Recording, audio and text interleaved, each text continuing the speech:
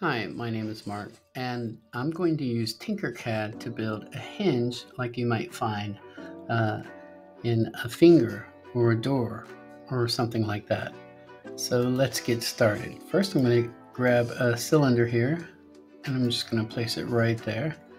And then I'm going to grab another one, and I'm going to place it right next to it. And I'm going to shrink it down to about the size of 5, and then I'm going to rotate it like that and then I'm going to uh, uh, copy it and copy one over there. Uh, now I'm going to copy it again. This over here for the next one and this one here I'm going to copy. I'm going to move this one over here like that.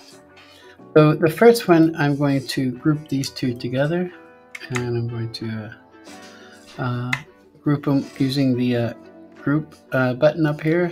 Now they're grouped. I'm going to change the color so it's easy to see. Uh, let's make it that color.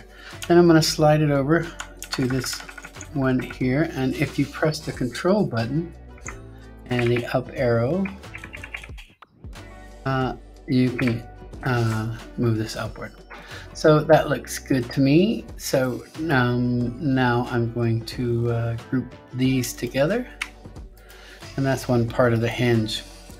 Now I'm going to slide this other piece all the way over using the uh, arrow buttons and then I'm going to raise it up just like that. One more kind of right. Now what I should have done before on this was align everything and I didn't align everything so I'm going to do that again. So this one here and this one here and then let's click align see they're not aligned. So but now they are. Okay now I'm going to regroup them and I'm going to do the same thing to this one here. I'm going to align this using the align button and they are already aligned. So let's change the color of this so they're very easy to see. There's a green one this is an orange one. So what I'm going to do now is to group these two together just like that. And now I'm going to flip it. And if you keep the your your mouse on the inside of the circle, it will snap into place every 15 degrees. On the outside of the circle, it moves one degree at a time. We want it to flip into place every 15 degrees. And there we go. And now we're going to hold down control and go up and go over, up. We're gonna turn it and look at it. Kind of right, kind of what I'm looking for. Hold down shift and press the button and now I'm going to align this one. Okay, that looks okay. This side looks okay. now to make a hinge, I need a pin in the middle of it somehow. So this is a little bit tricky, but I'll make it easy for you. So I'm to make this 5 and 5. 5. 5. 5 seems to be a really good uh, size for doing what I'm to do. Okay, let's turn that 90 degrees. Let's just stretch it out. Stretch it out ahead of time. I'm to move it over here, and that's about centered, close to it anyway. Move that to about the center. And then go and go up. Hold down control, arrow key. Okay, so we really don't want it centered because if uh, when we test this in SimLab later, it's not going to work if part of it's in in and the other one. It really needs to be uh, in both of these, clearly in both of these. So that's gonna work there. That's gonna work there. Okay, so the next thing to do is to put holes in this piece and this piece here going through. Now to do this uh, properly, we will take this one here and turn it into a hole, and then we will duplicate it twice. Duplicate, duplicate.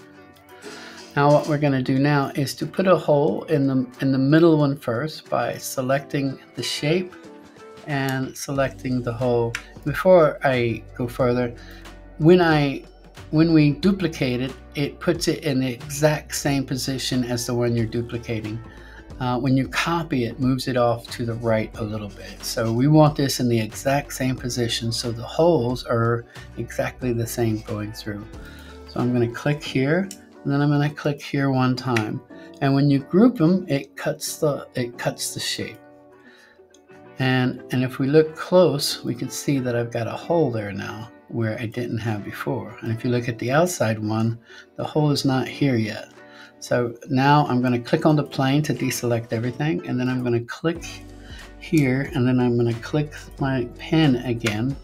And you'll notice that when I click group, it should cut the hole into this one. And it does. And then I look through all the way, and I got a perfect hole there. Now the next thing I'm going to do is to uh, make this a solid again and then I'm going to resize it because I don't want it touching anything when we do the SimLab. So first thing I'm going to do is select here and then uh, select 3. Try that again. 3. Let's turn it sideways. Okay, so that's going to be 3. And this one here is going to be three. The top and the side, three. Okay, now if you look inside, it's almost uh, perfectly in the middle. Uh, but first, let's uh, line it up so we can see what we're doing. Press Control, go up, and then over. Now, if it doesn't move into shape, go ahead and press the uh, snap grid to put it about 0.5. And it should snap into place. You know what? That looks pretty good right there. I'm just going to go with that. Now I'm going to turn it like this and I'm going to group this bar and this one together. First, I'm going to center it because it doesn't look centered at all.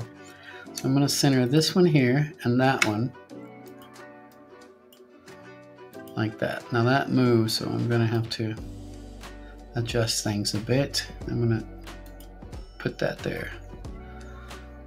Okay, and now this other one here, uh, let's first let's group this together. So this one and this one and group.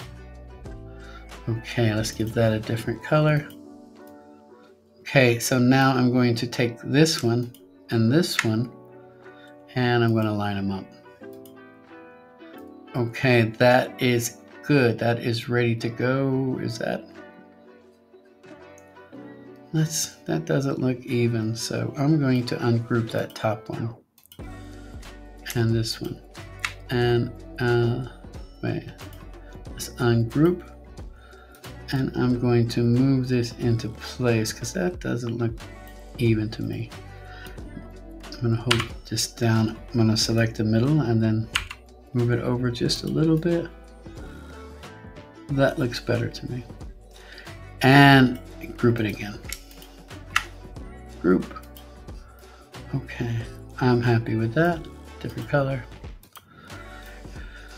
Okay, so now what we're going to do is go into the SimLab to prove this, this design works. So we press the SimLab button. It's a little apple in the top right corner, and it takes us to the SimLab. SimLab has a little play button down here, and what it does, it allows gravity to, take to manipulate these objects. You know, so um, the first thing we do is to secure the base. And uh, I'm going to make that make sure it's static. So this little button here, the, the ball rolling downhill is means it's dynamic. So I don't want it dynamic. So I'm going to make static. And this one here should be the ball rolling downhill, and it is. Okay, so now let's change the material a little bit. I always like mine to be steel and this one also will be steel just like that. And that looks good. Now the first time you hit play it usually blows apart. I don't know why that is. Maybe that's a glitch in the software. But let's hit play or the space bar. And it worked right off the bat. Wow look at that. That just that's how it's supposed to work. It's supposed to fall over just like that and that is that so now you would 3d print it because you know it works uh, okay, so if you have any questions, let me know. Looks like a cannon, huh? Thanks for watching my video. Please like and subscribe. Bye bye.